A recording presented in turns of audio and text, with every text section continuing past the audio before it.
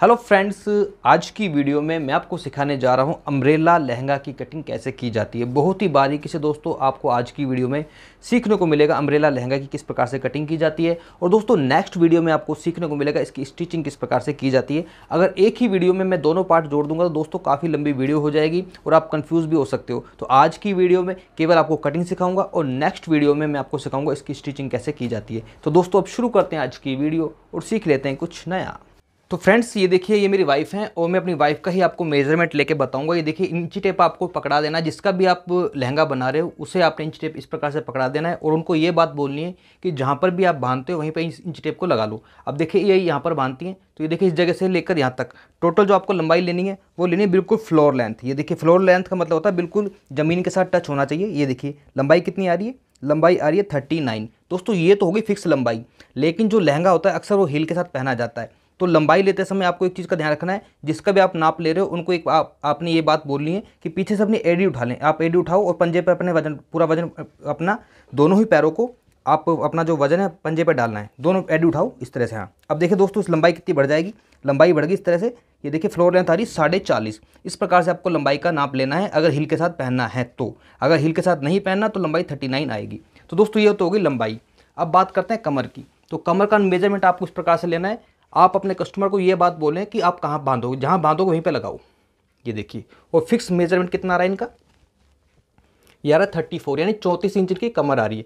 तो केवल दोस्तों, दो ही मेज़रमेंट की ज़रूरत होती है। अब इस मेज़रमेंट के अकॉर्डिंग मैं आपको बताऊँगा कैसे कटिंग करनी है।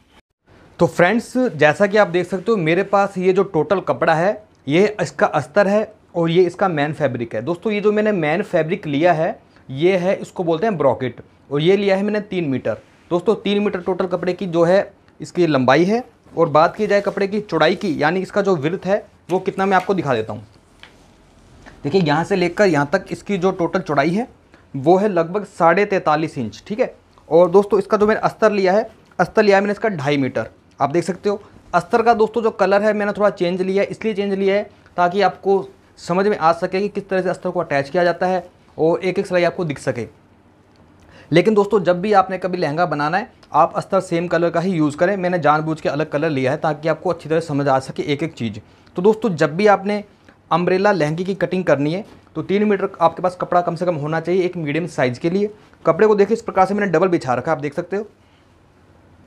अब इस प्रकार से जब आप कपड़े को डबल बिछाते हो, और एक चीज़ और हमेशा याद करनी है दोस्तों, कपड़ा बहुत बड़ा होता है और इसका घेर काफ़ी बड़ा बनता है अम्ब्रेले का।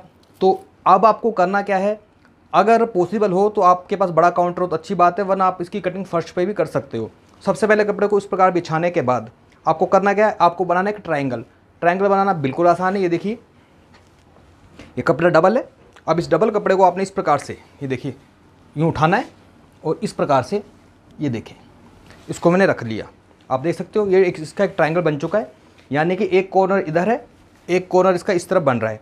इस तरह से ट्राइंगल बनाने के बाद अब फ्रेंड्स जो सबसे पहले इम्पोर्टेंट काम होता है, क्योंकि दो ही नाप की ज़रूरत पड़ती है लंबाई की, और इसमें जो इसकी कमर होती है, उसकी हमें ज़रूरत पड़ती है, वो जो कि मैंने आपको ऑलरेडी बता दिया है। अब फ्रेंड्स सबसे पहले हमें इसकी कमर निकालनी है। कमर निकालने का जो तरीका, ये देखिए। ये जो उसका ट्राइंगल वाला पार्ट जो मैंने बनाया है, इस जगह से आपको कमर निकालनी है।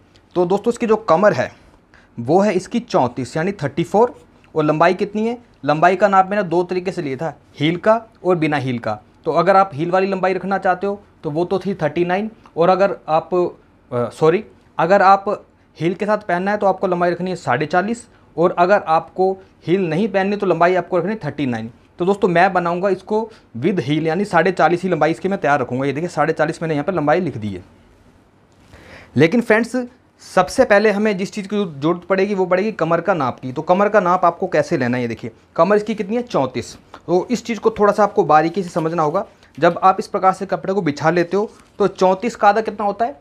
सत्रह। और सत्रह का आधा कितना होता है? साढ़े आठ। आपको इंची टेप को इस प्रकार से रखना है देखें और इंची टेप को इस प्रकार से धीरे धीरे नीचे की तरफ़ लेकर आना है, ये देखें तो दोस्तों साढ़े आठ आ रहा है इस जगह पर।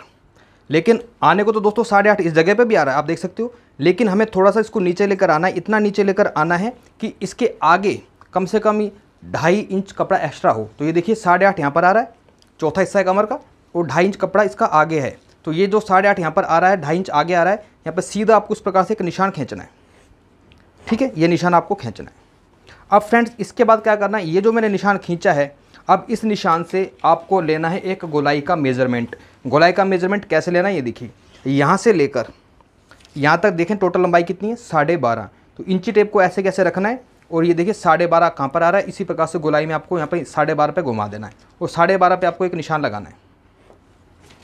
और ये जो निशान है, इसको गोलाई में आपको इस प्रकार से मार्क लगाना है, देखें। जैसे मैंने निशान लगाया कहने का मतलब मेरा ये है, जो लहंगे की जो कमर होती है, कभी भी सीधी नहीं कटती, वो गोलाई में ही इसको हम काटते हैं। तो तभी उसका जो एक फ्रिल अच्छा बन पाता है, अगर आप सीधी कर दोगे तो उसका लुक नहीं आ पाएगा। तो इस प्रकार से गोलाई में आपको निशान लगाना है। उसके बाद, अब देखें दोस्तों, साढ़े आठ पे आपको निशान लगाना है, क्योंकि कमर चौंतीस है तो एक चौथाई कितना है? साढ़े आठ। तो साढ़े आठ पे गोलाई में ही आपको निशान लगाना है। तो ये देखिए, इस प्रकार से साढ़े आठ पे मैंने निशान लगा दिया है, और इसके अलावा आगे लगभग आपको एक इंच कपड़ा एक्स्ट्रा रखना है। दोस्तों, एक इंच कपड़ा मैं इसलिए आगे रख रहा हूँ, क्योंकि इसमें थोड़ा बहुत हमें मार्जिन चाहिए होता है।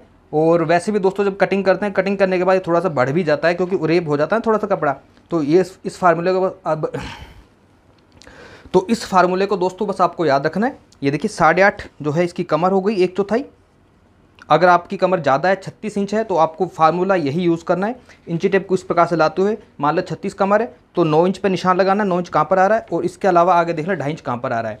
उसके बाद सीधा निशान लगाने के बाद इसी फार्मूले को आपको बस याद रखना है। मैं दोबारा रिपीट कर देता हूँ। मान लेते हैं कमर किसी की चालीस इंच है। मान लो कोई हेल्दी लेडीज़ है थोड़ी सी तो उसकी कमर चालीस है। तो चालीस का फार्मूला भी मैं आपको बता देता हूँ। देखिए इंची टेप को इस प्रकार से रखेंगे।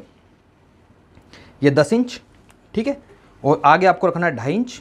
और सीधा एक निशान लगाना है। उसके बाद जितनी भी लंबाई आ रही हो, उस प्रकार से लंबाई को रखते हुए, जैसे मैंने ये निशान लगाया उस निशान को आपको लगाना है। आगे आपको एक इंच का मार्जिन रख लेना है। ये देखिए साढ़े आठ। आप देख सकते हो कमर चौंतीस है तो यहाँ से साढ़े आठ और एक इंच कपड़ा आगे हमने रख लिया है। अब दोस्तों करना कर, क्या है आपको? सबसे पहले आपको अब ये जो मैंने निशान लगाया है इस निशान पे आपको कर लेनी है कटिंग गोलाई में। ये कटिंग करने के बाद अब ये जो कपड़ा इसको रखते हैं साइड में और जो नीचे वाला कपड़ा है इसको सारे के ऊपर हम इस प्रकार से सरकार लेते हैं। ये देखिए। अब फ्रेंड्स करना है आपको इसमें अगला काम वो है लंबाई का। तो लंबाई का नाप आपको किस प्रकार से लेना है? दोस्तों, इसमें हम ऊपर लगाएँगे बेल्ट और जो बेल्ट लगाएँगे, इसमें हम वो लगाएँगे दो इंच चौड़ी। तो दो इंच आपको ऊपर निकाल देना ये देखिए। क्योंकि दो इंच की बेल्ट लग जाएगी तो दो इंच मैंने ऊपर निकाल दिया है। अब लंबाई तैयार कितनी है? साढ़े चालीस। तो साढ़े चालीस इंच पे आपको निशान लगाना है, ये देखिए। ये साढ़े चालीस पे मैंने निशान लगा दिया अब इसी प्रकार से दो इंच इधर ऊपर करें और साढ़े चालीस जहाँ पर आपका आ रहा है, वहाँ पर आप निशान लगाएँ, ये देखिए साढ़े चालीस। इसी प्रकार से दोस्तों आपको साढ़े चालीस साढ़े चालीस इंच पे निशान लगाते जाना है, दो इंच ऊपर निकालते हुए। ये देखें, साढ़े चालीस पे आपको निशान लगाना है।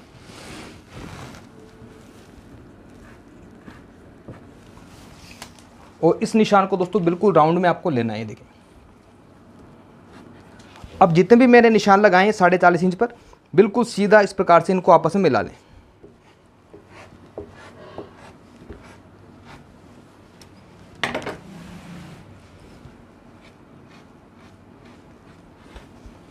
तो दोस्तों, अब जो इम्पोर्टेड काम है इसमें वो मैं आपको बताता हूँ, ये देखिए। जब भी हम इस प्रकार से लहंगा बनाते हैं अम्ब्रेला लहंगा जनरली जो हमें कपड़ा मार्केट में मिलता है, जो उपलब्ध होता है, उसका जो विर्थ होता है वो लगभग यही होता है, तैंतालीस इंच, चौवालीस इंच।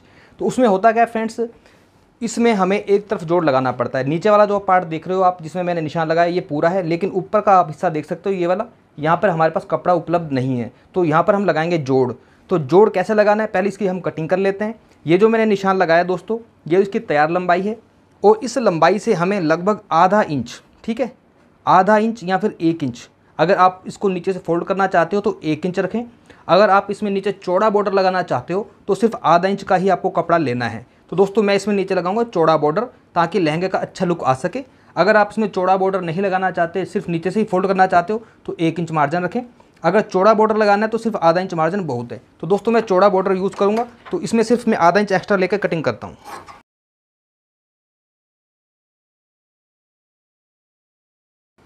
तो फ्रेंड्स ये देखिए, अब ये ऊपर के दो पार्ट आपको दिख रहे हैं ना, ये वाले। अब यहाँ पर हमको लगाना है जोड़। तो जोड़ लगाने के लिए क्या करना है, ये देखिए, ये जो कपड़ा बच रहा है हमारे पास, अब इस कपड़े को आपने इस प्रकार से रखना है। ये देखें इस तरह से कपड़े को रख लें। और ये बिल्कुल बराबर इसके आ रहा है, देखें, क्योंकि इसमें दो जोड़ लगाने पड़ेंगे। अब दो जोड़ लगाने के लिए दोस्तों फार्मूला हमें दोबारा वही यूज़ करना है, ताकि प्रॉपर निशान आ सके। ये देखिए, इस जगह से दो इंच ऊपर छोड़ते हुए आपको निशान लगाना है कहाँ पर? साढ़े चालीस इंच पर, साढ़े चालीस कहाँ पर आ रहा है? ये साढ़े चालीस, ठीक है? और इसी प्रकार से दो इंच ऊपर छोड़ दिया मैंने, साढ़े चालीस पर निशान लगाएँगे। और इसी प्रकार से इधर जोड़ बिल्कुल बराबर आना चाहिए इक्वल आना चाहिए, साढ़े चालीस पर निशान लगाना है। अब इन निशानों को दोबारा मिलाएँ आपस में।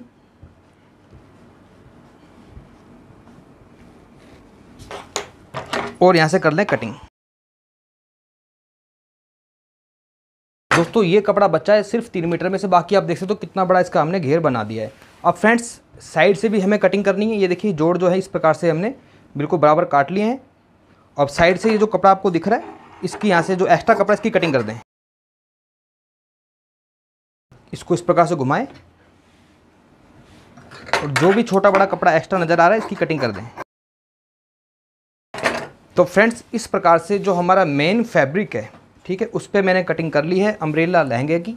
अब दोस्तों, इतना काम करने के बाद हमें जो कटिंग करनी है, क्योंकि इसके अंदर हमने अस्तर को लगाना है, अस्तर यूज़ करना है तो अस्तर की कटिंग कैसे करनी है? अस्तर के लिए दोस्तों, हमें जो है तीन मीटर कपड़े की ज़रूरत नहीं पड़ेगी। अस्तर हमें वैसे मैंने ढाई मीटर लिया है। लगने को तो केवल दो मीटर में भी लग सकता था। लेकिन दोस्तों, क्योंकि नीचे इसमें मैंने लगाना है बॉर्डर चौड़ा वाला, इसलिए मैंने कपड़ा थोड़ा ज़्यादा लिया है, ढाई मीटर। अब दोस्तों, अस्तर की कटिंग आपको कैसे करनी है देखें। अस्तर के कपड़े को फ्रेंड्स आपको कभी भी उरे भी नहीं बिछाना है। कहने का मतलब इसका ट्रायंगल बनाने की हमें कोई ज़रूरत नहीं है। कपड़े को बस ऐसे कैसे डबल रखें, जैसे मैंने रखा हुआ है। ये देखिए। किस तरह से मैंने बिछाया है? दो पल्ले ये हैं और दो पल्ले इसके ये हैं। इसको इस प्रकार से रखें। बिल्कुल बराबर। लंबाई कितनी है टोटल तैयार दोस्तों? साढ़े चालीस। तो ये देखिए, साढ़े चालीस कहाँ पर आ रहा है? ये साढ़े चालीस आ रहा है। ये सीधा निशान लगाया मैंने। ठीक है? और इसके अलावा दोस्तों, हमें यहाँ पर गुलाई वाली शेप देनी है। तो उसके लिए आपको करना क्या है ये देखिए। आपको बिल्कुल आसान तरीका बताने वाला हूँ मैं। इस जो मेन फैब्रिक की हमने कटिंग करी थी, इसको इसके पास रखना इस प्रकार से देखें। ये इसकी बिल्कुल गोलाई वाली शेप आपको दिख रही होगी। ठीक है? और ये देखें।